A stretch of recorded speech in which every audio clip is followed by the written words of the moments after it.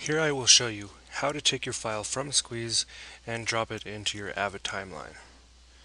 I have already imported the file into Squeeze.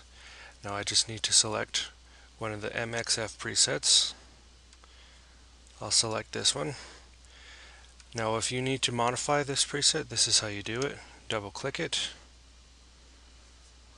and you go under here under the main setting you want to ignore these settings for now what you need is right here in the main setting and if you click this right here you'll find a drop down window with all your options and various combinations of frame size, frame rate, and data rate.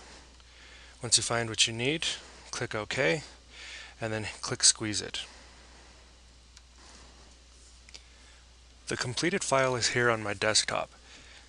It should have the name of the file and the name of the extension, which is default to Squeeze, or whatever you may have changed the default to as far as the naming scheme. Now the important thing is that we rename it to any number. The number is fairly arbitrary. Of course, you can give it a different number for your own organizational purposes.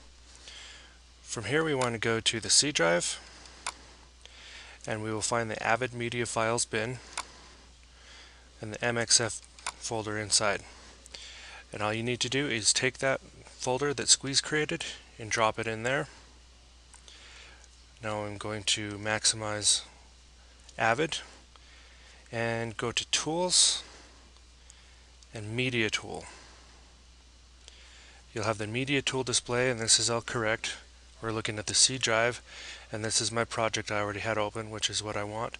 So I'll hit OK and now the media tool will populate with the files that are inside that MXF folder in that directory I just showed you. This is the file that I want right here. So I simply take it and I drag it and drop it into my bin.